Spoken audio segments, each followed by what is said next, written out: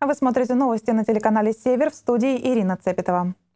17 медицинских сестер пополнит коллектив Ненецкой окружной больницы через три года. Сегодня будущие медсестры подписали трехстороннее соглашение о целевом обучении социально-гуманитарным колледжем имени Ваучейского и Ненецкой окружной больницей.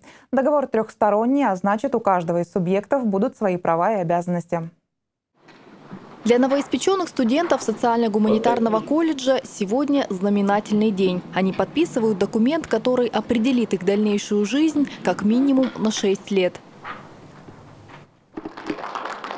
Трехстороннее соглашение о целевом обучении – это возможность получить качественное образование на льготных условиях. Форма обучения очная, срок – 2 года 10 месяцев. Подготовка будет проводиться на основе софинансирования. Студент оплачивает 20% стоимости обучения, 80% расходов берет на себя округ. Таким образом, студент будет платить за обучение чуть более 10 тысяч в год, а специальность – одна из самых востребованных – сестринское дело. Выбрала медицину, потому что нравится мне общение с людьми.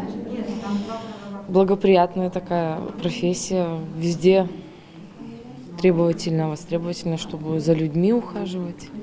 За дет, ну, как, где детей очень как люблю. Как мне нравится такая вот атмосфера добрая. Во время обучения у администрации колледжа не будет возникать вопроса, где студентам проходить практику. Ее организуют на базе Ненецкой окружной больницы, которая в последующем выступит работодателем для выпускников. Андрей Дедов отметил, с подписанием соглашения организация может быть уверена в укомплектованности учреждения медицинским персоналом.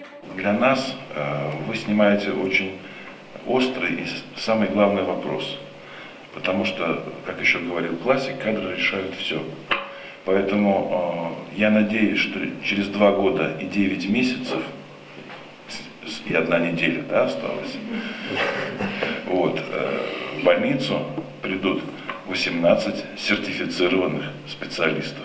В свою очередь студенты, подписывая договор, берут на себя обязательство проработать в учреждении не менее трех лет. Если это условие договора не будет выполнено, им предстоит компенсировать все затраты работодателя. По словам губернатора, сегодня иметь гарантированное рабочее место – большая удача. Готовим заключение таких же договоров на подготовку мастеров в сфере ЖКХ.